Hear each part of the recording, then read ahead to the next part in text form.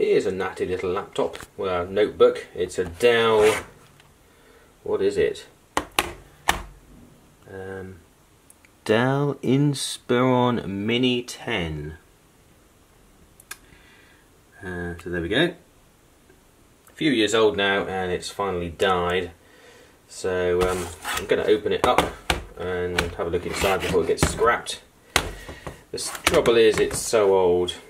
It's um, yeah, it's had its time really, unfortunately. It's uh, a Celeron processor. No, it's not even that. Look, it's an Atom processor.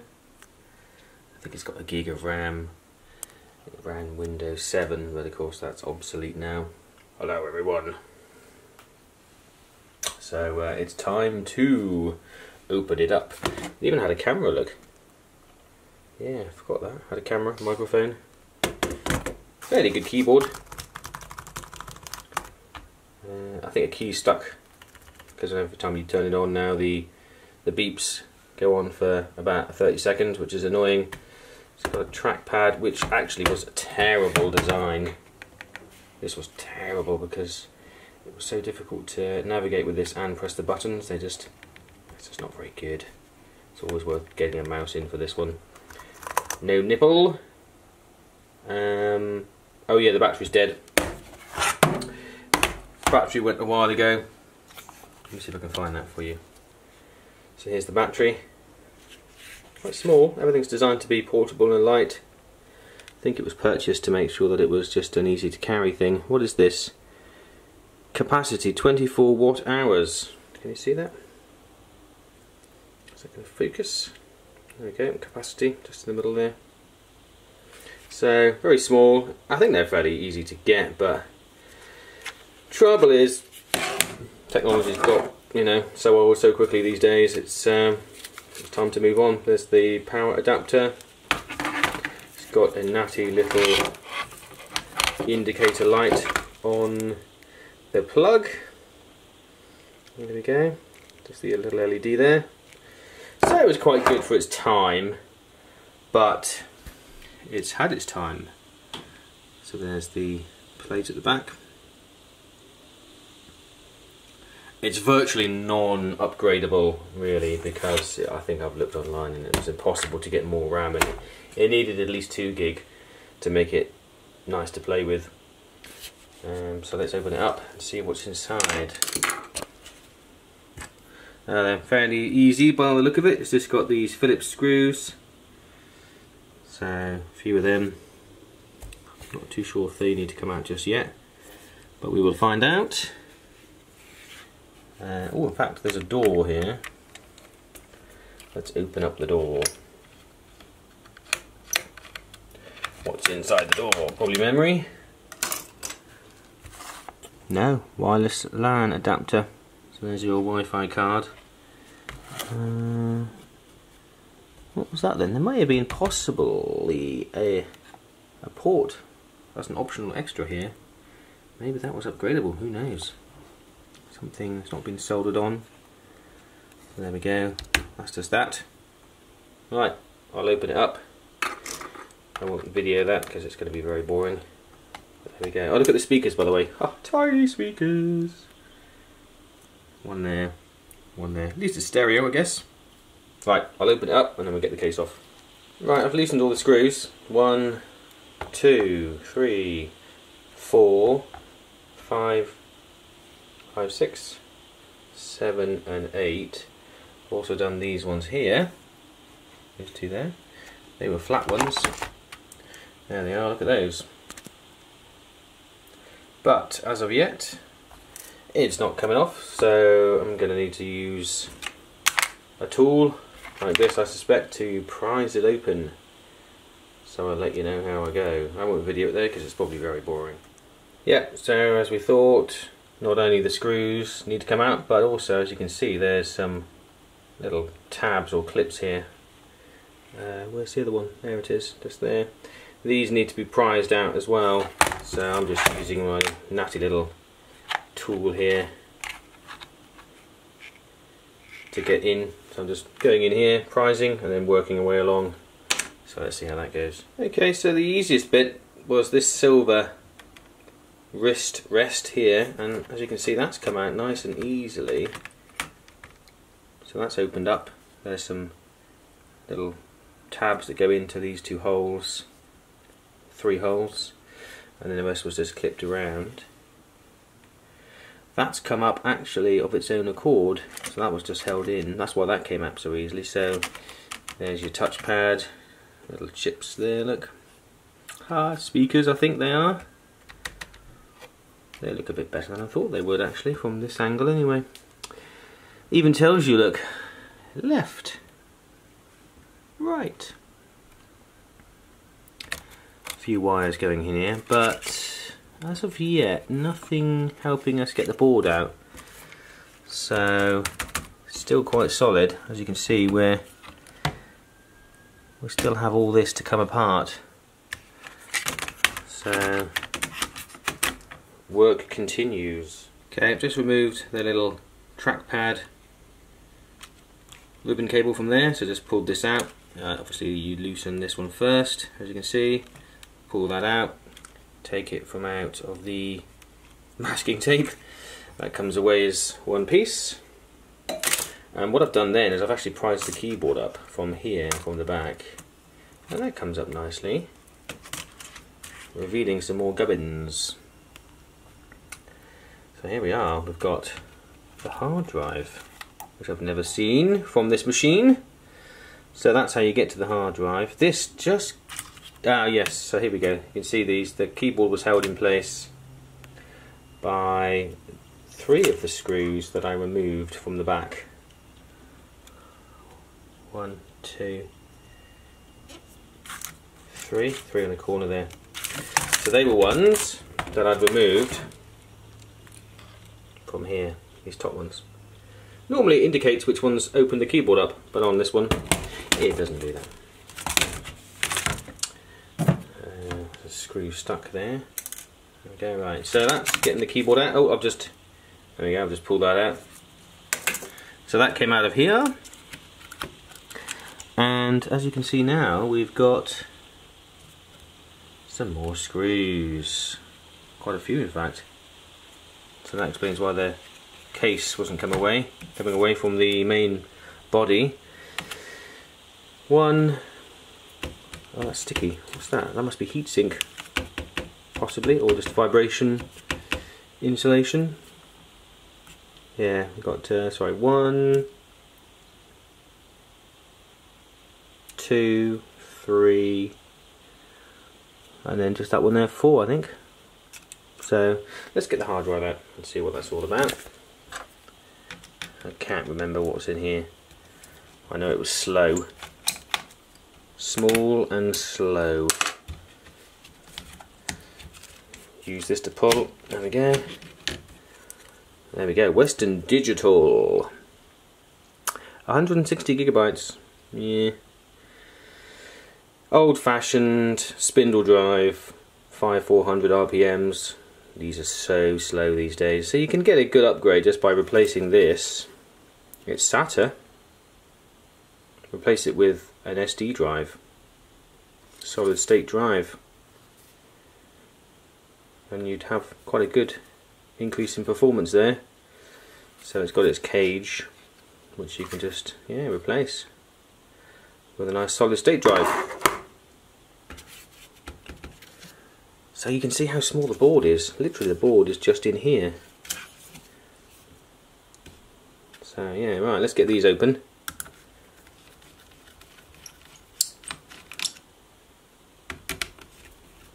It is now at least telling us some indication here what the screws are. M2.5 times 5L does it come away nicely? Here creaking plastic.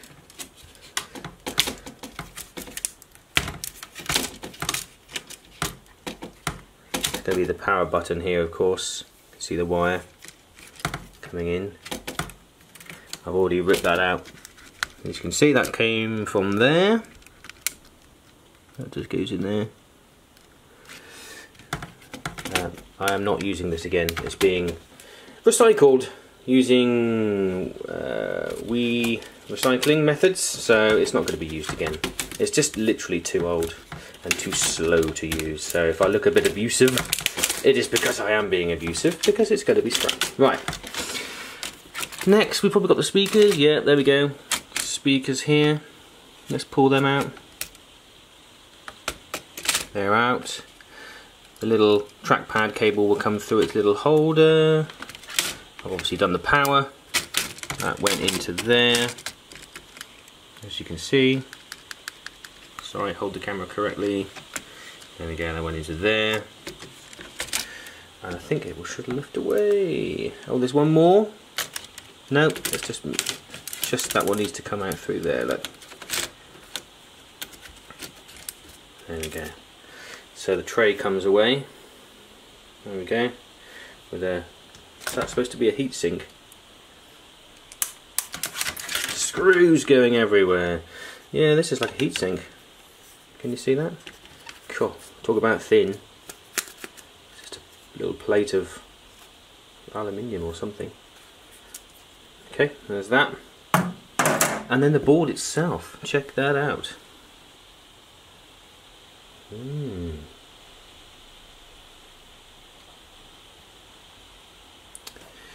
2009. God, that is old, isn't it? Hmm. Um, what does this do here? So you've got a link wire linking to this daughter board. This little extra board here. Oh, there's your USBs. USBs. Very compact. Audio down here. What's this? Something here. That would be, what will that be? That would be lights, I think, is it lights? Yeah, just a little LED board.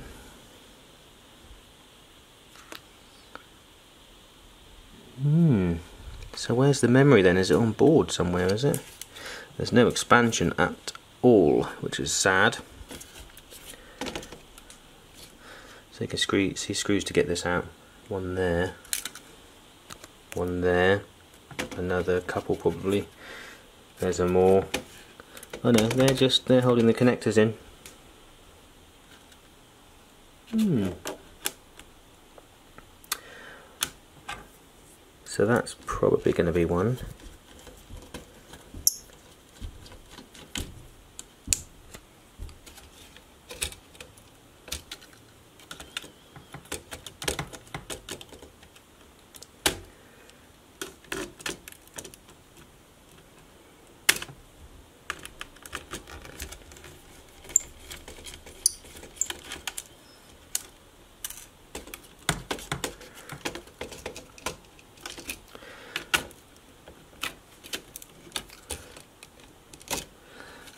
Something here. Why can I not see?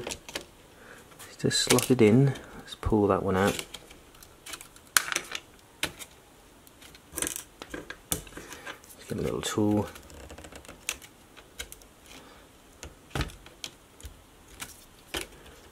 Get out!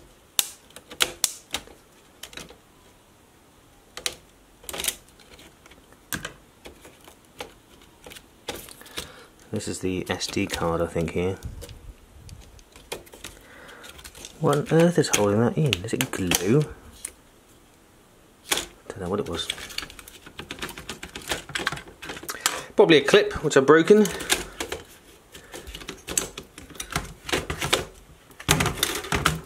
And there we go, we're out. So there's your monitor connection up here. Out it comes and let's flip this over. More connections here. Look what's going on here. These are also going up to the display. Maybe one's data one's power. Could be couldn't it? Sounds reasonable. There's your battery connection with the screw flying about here look. Um, let's take that out and more here Now we can flip. Da-da ah! There's the memory. Oh, so you can upgrade it. But look, there's no door. What a ridiculous design. There's no door. That's why you can't see memory. Look, the memory's here, behind this sticker. Well, this is part of the reason why I hate this machine. Not upgradable. So you have to take the entire board out just to get to the memory. One gig. Sorry for the movable camera. There we go, one gig Samsung memory. Perhaps it doesn't take any more than one gig, which is why they don't allow you to upgrade it. Little CMOS battery, I think there. This? Oh, just don't know what that is. Just uh, a little bit of kind of support. Maybe for RF interference. But yeah, there we go, there's the back. That's the wireless connection we could see, little card, wireless card, which we could see from a door. You hardly you know need to get to that, oh yeah. You'd much prefer to get to this. Because this memory unclips just like you'd expect it to for a laptop. There we go, look. Proper module. Why not make that upgradable? If I could stick in 4 gig on this machine, it would be usable ish. But then you'd need to upgrade the hard drive as well to make it worthwhile. So then you put in quite a bit of uh, cash unless you have these lying about. So, you know, if you want to then, that's what you need to do to get to it. Just that bit there. Um, I've also removed a screw from here so we can now pull out this little board. Ah, look at that. This is the USB board A couple of USBs on there not much else.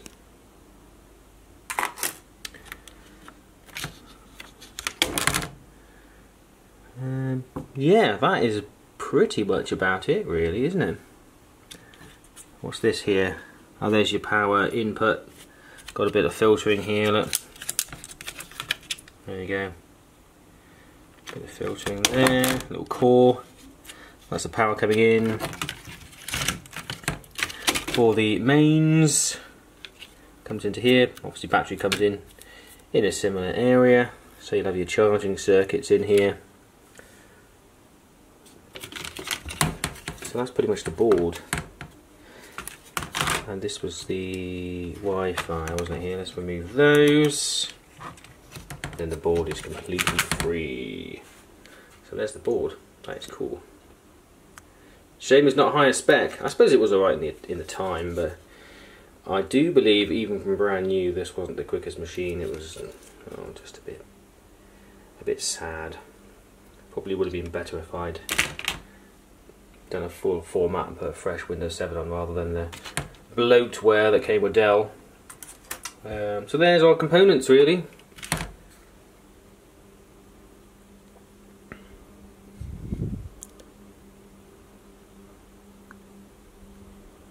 No, this is the CPU there. There's the CPU. 1.6 gigahertz powerhouse. So virtually nothing in the way of heatsink. That would have had, that would have been touching that plate there. So this is all your heatsink. It didn't get hot really.